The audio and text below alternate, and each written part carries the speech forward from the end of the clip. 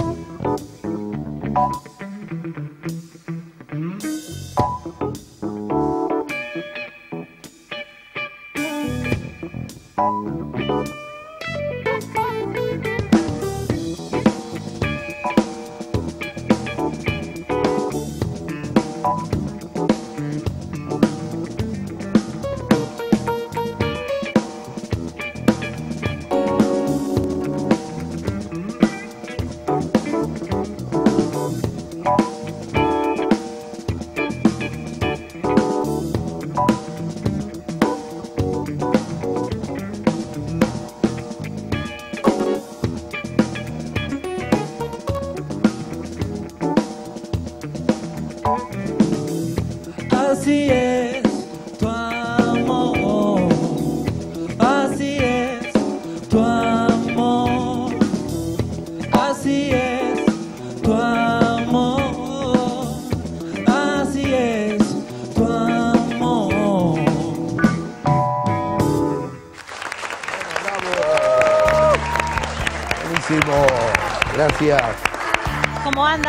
bienvenidos a Volver Rock. Gonzalo Aloras en nuestro escenario Catarina Espineta. y Tom Lupo. Mucho- Hola, ¿qué tal? Bienvenidos. Vamos a tener hoy la visita de Luis Alberto Espineta. Después te lo Así es. presento. Sí, me lo tenés Ah, que presentar. sí. También viene Hilda Lizarazu Vamos a tener un video sobre el León Gieco y una sorpresa. y una sorpresa y como siempre las bandas nuevas y todo lo que es Volver Rock. Eso, así que yo que ustedes me quedo. Así es.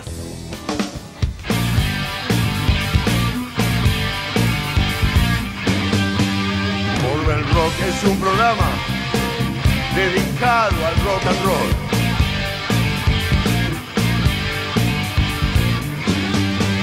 Volver Rock es un programa dedicado al rock and roll.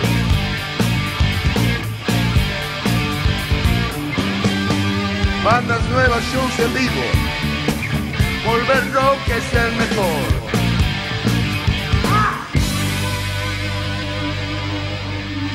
Aguante, volver rock.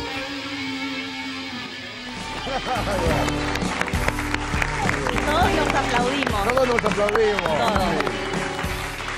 Hola, Pa. Hola. Hola. Invitado súper especial.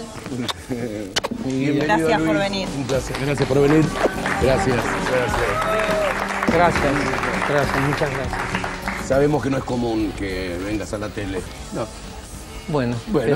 pero valía, valía, valía, sí. Me contó el Colo, el director de este programa, que en este mismo estudio hace muchos años grabaste algo para algo de Valía, hablando de Valía para Badía. Mira Sí, vos. sí. Sí, puede ser. Puede sí, ser, puede no me acuerdo exactamente en qué estudio, pero sí, por acá era. También para Tato, Claro. a grabar, canté una canción. Tenemos ya desde el BAM una buena noticia para darte. A ver. No te vamos a pedir que cantes muchachos ojos de papel. Gran Sí. noticia. Es noticia, Bueno, pero- yo la había traído preparada. La teníamos, Pero ahora mejor no la toques. no, no, ahora no mejor la no vamos. la toques. Pero bueno, siempre, siempre te ha pasado un montón de veces. ¿Cómo, cómo no pedirte esa maravilla, no?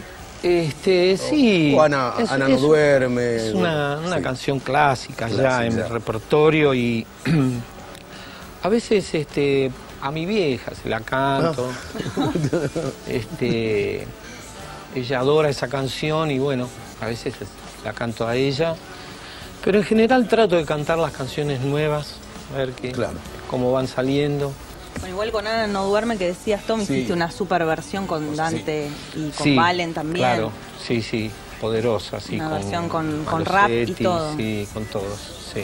La verdad. los buenos temas permiten eso, ¿no? Re- reverlos y darle otro sentido, ¿no? En- Sí. Otra mirada. Sí. Eh, en general sí. No todos los temas No, se adaptan, pero claro. viste, en el caso de Ana, es un, un tema con un ritmo muy marcado, digamos, sobrevive a las épocas. Vos sabés que a mí me tocó una vez cruzarme un minuto con Cortázar. Yo sé que vos te cruzaste con Borges, no es poco decir. Y le mencioné una frase de su obra y él no se la acordaba. Dice, ¿de qué libro es? Yo quiero hacer lo mismo como recordar- recordarte una frase. Porque me preguntaron las 100 mejores frases de poesía de la Argentina. Y yo incluí una tuya, no como canción, sino como poema. Dije, este fragmento dice así, quiero sentirme en tus sueños. Dije, esa frase es tan extraordinaria porque la poesía tiene esa ambivalencia. Yo no sé si ella quiere que ella lo sienta en los sueños o él quiere sentirse en los sueños de, de ella, no se sabe. ¿Vos te acordás de esa frase? Creo que es de Mapa de tu Amor. Exactamente, Sí. donde también Ah. no quiero vivir como Dios. Sí. Este, sentirme en tus sueños. Qué bárbaro. ¿De qué Sí. disco es eso? Debajo del grano. Debajo del grano. Sí. Este, estaba muy soñador. ¿Usted diría que el surrealismo ha influido en su obra, señor Spinetta? Bueno, en la mía y en la de todos, la- creo, claro. ¿no? Este, a veces la realidad cotidiana tiene una, una cuota de, de surrealismo tal que los surrealistas se quedan, este, digamos, con neutros, quedan, quedan neutralizados. Este, pero sí, en general hay algo de surrealismo, aunque en realidad en esta etapa, por una cuestión ya mismo de madurez, uno prefiere decir cosas que usar metáforas, ¿no? Claro. que son muy propias del surrealismo. Entonces, bueno, este, ahora está cambiando un poco la, la naturaleza de algunas metáforas porque trato de que no sean, digamos, este, álamos de gas, como dice Almendra en gabinetes espaciales, sino que por ahí diga, hay que impedir que juegues para el enemigo. Ah. Es algo con más poder. Más digamos, la que, palabra que sea está- más entendible también, o no lo pensás desde que se ponga en acción, digamos, Ajá. ¿viste? Ajá. Eh, cuando Neruda dice boina gris, vos haces un salto tremendo para llegar a la, a la metáfora. Sí. ¿eh? Este, y uno, qué sé yo, que intenta, por ahí en algún momento, como las metáforas no son tan buenas, uno prefiere decir cosas contundentes que impliquen que la gente se mueva, ¿no? Claro. Estuviste haciendo un- una gran participación en, en la lucha Sí, los padres de la los tragedia padres de la, Fe. de la tragedia de Santa Fe, eh, una lucha contra la inconsciencia de alguna manera. Sí, bueno, ellos eh, han hecho conduciendo a conciencia, que es una, digamos, es una misión que han encarado con todo el dolor en, en los hombros para tratar de que sea ley de Estado eh, la educación vial desde la primaria. Y es muy importante que tengamos en cuenta eso. Hoy estaba viendo en el diario que, viste, todos los días hay unas, unas sanatas horribles por eso. Sí, sí, sí. Y me parece que es otra de las cositas que no estamos prestando debida atención en nuestra sociedad. Ver que conducirse a conciencia no implica solamente estar atrás de un volante, de- el volante de un auto, me, Sí, me sí, refiero, sí. sino Sí. que implica un montón de cosas más que tenemos que tomar conciencia para mejorar la vida, ¿no? Sí. Mejorar las condiciones de vida de, de nuestro país.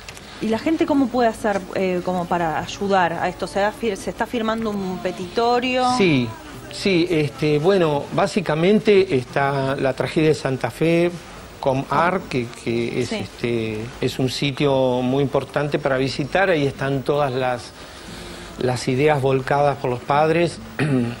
Después se están haciendo un montón de cosas muy buenas, como serviste que eso que se acostumbra a sortear. Si vos eh, vas a chupar, no, no manejes. No ma- Entonces, ajá. bueno, a ver, se sortea quién Ah. no chupa.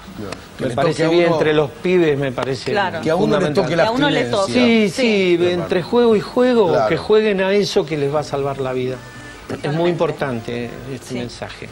Sí. Bueno, Estoy con todo con esos padres que son eh, temerarios y, y tienen una polenta de locos, la verdad. Y hay un montón de músicos también que están Sí, apoyando. sí, sí, un León, montón. León, Los Tipitos, Gieco, también Los Tipitos. Javier Malosetti, este, Oscar Yunta, Hernán Jacinto, está también Andrés Ciro, de Los. Piojos, están los pibes de Árbol, están los auténticos decadentes, están los pibes de Vento. Un está- seleccionado. Sí, Sí. Este, Santiago Bravo también, varios pibes que... Bra- Bravo Bien. por Santiago. Sí. Y hablando de buenas acciones, esto fue una sorpresa. Flaco, dale gracias. ah, mira. Un montón de músicos que se juntaron en un CD que en realidad eh, no se vendía, que había, Ah. Que Claro. era para los piletones. La gente para conseguirlo tenía que llevar comida, que valía Sí, un dinero. Y- muy bueno, muy bueno. Y fue un éxito tan grande que los piletones dijeron, bueno, este, basta, no, no, no- tenemos para un año y medio comida, ¿sí? Ahí va. Y qué Muy homenaje bien. para vos también, además. me Sí, imagino, es muy digamos. lindo. Hemos- En, en su momento al pobre Spampinato eh, medio como... Muchacho de Mar del Plata que tiene un programa de rock allí, Fabián. Sí, Que fue el Fabián, que sí. bueno, pobre, pobre soy yo, pero Vos- digo, vos- eh, sí, porque no, porque como él empieza con elogiándome de una manera muy exagerada. Ah, que te quejaste Pensé que de claro, eso, sí. pensé que no, Pero- pero, no. bueno, este, la verdad que este, lo más lindo es poder ayudar a través de esto. Sí. Yo tuve la suerte que él me llamó para recitar eh, Dale Gracias y otro integrante acá del programa le tocó leer un, un poema de este, no sé si te acuerdas de este librito. Sí, Guitarra Negra. Guitarra Negra, ¿qué años es? Leyó la vieja edición. Sí. Sí, está, está en un estado... 1915. Sí, ¿no? Por aquella época. Ya. Eh, 1978, año en que nacía tu hija, primera hija. Y ahí este, Ezequiel Ábalos eh, recitó un poema que empieza diciendo así el músico de don Luis Alberto Espineta. Dice, acongojado llora con sus débiles dedos la furia y el odio y el lodo que fue su origen. Qué comienzo. Bueno, una, una hermosa edición, ¿no? Sí. Salió al revés el nombre acá, ¿viste? Sí, ¿viste? Sí. Guitarra negra. Bueno, Bueno, pues, hay otro- todo- Sí, claro. Hay, otro- otra edición. o- sí, y, hay y un libro que estaba que es bastante actual también, que es Martropía. Martropía de Juan Diez. Este, de sí, Juan Diez. Carlos Diez. Ah, estuve de leyéndolo, hay un- Reportajes. Hay una, un fragmento maravilloso de cuando conociste a Borges ahí, que lo Ah, contás sí, sí, con lujo de detalles y con la sensación de que de- al final dice, no sé si estuve con Homero, pero creo que fue Borges, algo así. Sí, Dos parecía, ciegos, claro, y- pero- parecía un personaje mítico totalmente, la forma de, de hablar. Eh, me miraba sin mirar y me veía por completo sin, sin poderme mirar. Vos tenías la sentía, sensación de que sí, te estaba sí, sí, viendo, por sí. supuesto, maravilloso encuentro. Para mí fue 100% lindo. Este, Qué bueno. en fin. Son Eh, bueno, ya que estás con, con la guitarra, eh, ¿La trajiste para algo así? si tenés ganas de tocarnos algo, Mirá, voy a hacer un fragmento que en realidad este, tendría que haberme aprendido mejor la letra de Atahualpa Yupanqui y León Gieco, un Oh. tema que es la guitarra, pero por lo menos no importa te lo canto te dos estrofas es así. realmente muy lindo. guitarra de dobles fibras que trajiste de la selva, la voz de todos los pájaros y el zumbo de cien abejas. Noche te tristezas, el cielo te dio alegría. para adornar tu garganta, del cielo bajo estrella, todas las cosas del monte, de los llanos y las sierras, andan caminos sonoros por las huellas de tus cuerdas.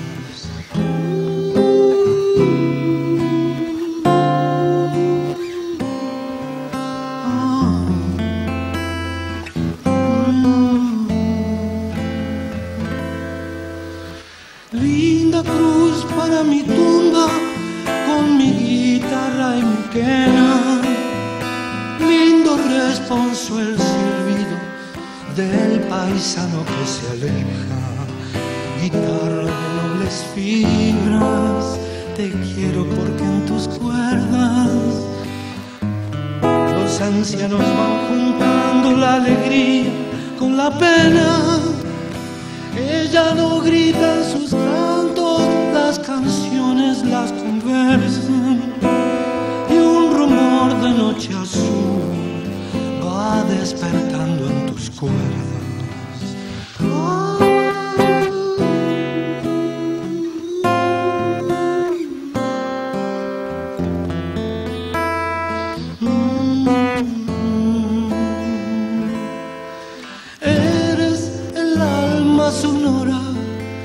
Nos afirma la tierra. Qué hermoso. Gracias. Un desastre. No. Estaba sonando el celular.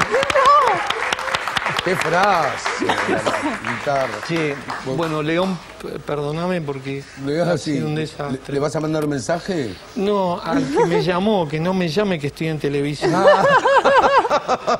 Ahora no, en un rato. Sé que en un programa hablando de guitarra eh, comentamos, lo está mandando un mensaje, vamos a esperarlo, si te, te está No, contestando. Sí, ya sí, está, sí. ya Ya está, ya está. Comentamos una frase maravillosa de Atahualpa, que él de- decía que quizás la sonoridad de la guitarra viene del hecho de que los pájaros están cantando en los árboles hace millones de años. Claro. Es la imagen que tuvo. Sí, sí. El zumbo de 100 abejas. Claro, Uf, qué bárbaro. Está bárbaro. Impresionante. Esto entonces está en un, en un disco Sí, de... un disco de León. que sí, lo de ter- Gieco no querido, salió sí. todavía, ¿no? Sí, creo Sí, que ¿salió? ¿Salió? Ahí, Sí, está sí, por ser Hay varios artistas que todos rendimos un homenaje Sí. y bueno, en este caso también es muy lindo poder a su vez versionar al gran poeta Atahualpa Yupanqui. Es más, Totalmente. tenemos una nota sobre La eso. de León es de- es Eh, sobre- sobre, sobre ese disco. Sobre la Sí, presentación de, de este disco. Sí, Atahualpa, qué personaje. Aparte, sí, tremendo. No, ¿Algún- hablas, no habla de, de otra cosa que no sea eh, ese interrogante de la vida, ¿no? Ajá. De la naturaleza, del hombre frente a eso. sí. Es decir, ni cuando cuenta una anécdota deja de hablar de eso tan profundo que en general nadie habla de eso. Vos sí. Sí. Cuando no estoy viendo un partido de Cuando no estás eh, conectado con otra cosa. Bueno, algunos dicen que diste el primer puntapié para, para que el rock y el tango se amiguen. Y ahora te está pasando con el folclore también, de algún modo, podemos decir. Bueno, yo creo que nunca estuvieron enemistados, Ajá.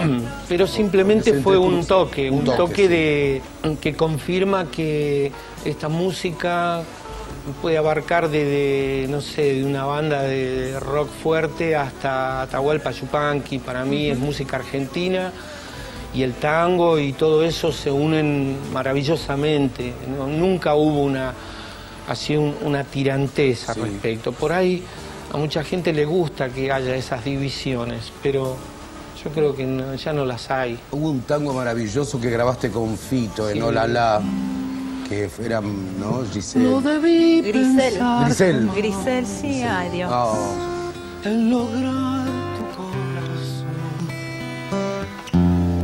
Y como un loco te busqué hasta que un día te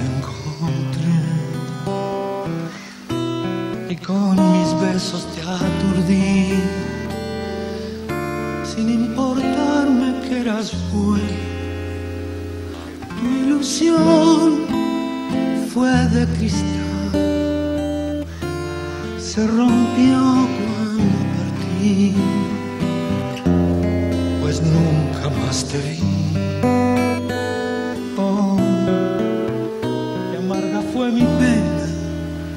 Te olvides de mí, de tu Grisel. Me dijiste al besar el Cristo aquel, y hoy que vivo enloquecido, ya que no te olvides.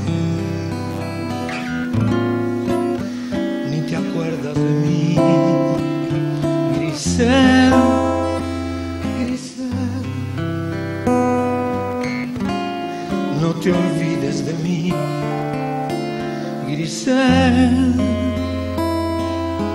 Grisel. Oh, qué bárbaro. Güey, Qué bárbaro. La verdad, Yo, yo por Es eso, yo por eso venía a volver rock, solamente por Solamente por eso. Bueno, ahora este, eh, tanto tangueros como folcloristas han Sí. quedado eh, conformes. Ahora les voy a tocar Me gusta Z. bueno, eso. Ahora que hemos conformado nuestra cultura, nuestras raíces.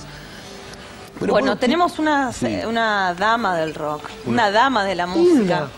no te vi. Y vamos a seguir este eh, eh, hablando con vos en el próximo bloque. Vamos a tener más Gonzalo Aloras. eh, y vamos a presentar un video exclusivo. un video exclusivo. Tenemos un estreno. Así es. Tenemos Hoy es un programa de lujo. De todo como en botica. Por eso vamos a escuchar a Hilda Lizarazu. Hola.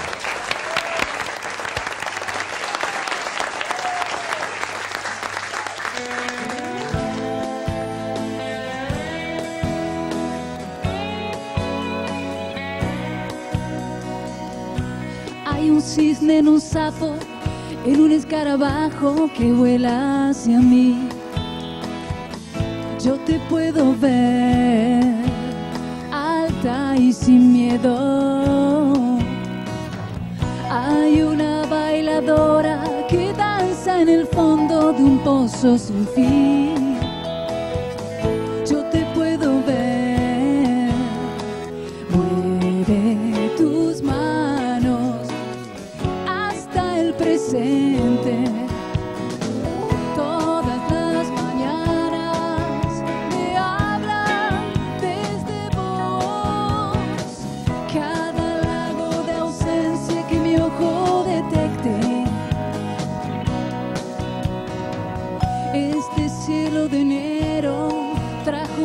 Amapola en forma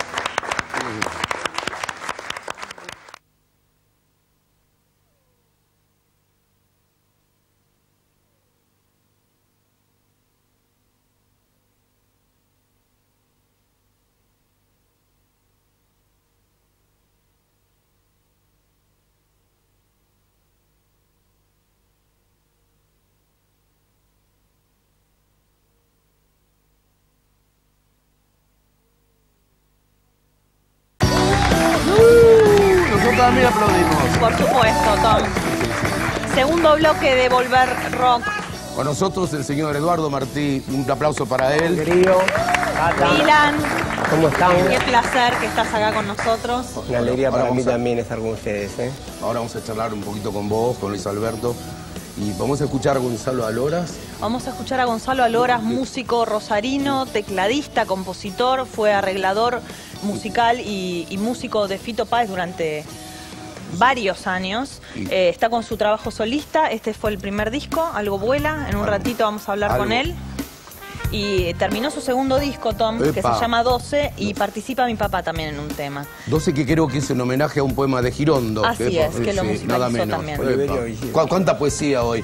Así que va a tener un invitado de lujo, el Sí, señor sí. ¿Se, Eh, se consiguió claro, un muchacho? pero, se consiguió un muchacho, Muchacho pero para- para... hacer una versión del muchacho. Ah, no el tema que está en el disco, Ah, sino una sí. exclusiva para volver rock. muy bien, muy bien. ¿Eh? Tenemos entonces a Gonzalo Aloras. Después que nos diga cuánto le pagó, digamos. Sí. porque- Ahora sí un calle alto, sí. Entonces en exclusiva haciendo bien. Es la Medianoche, un Eh. tema de mi padre Luis Alberto Spinetta y Gonzalo Aloras.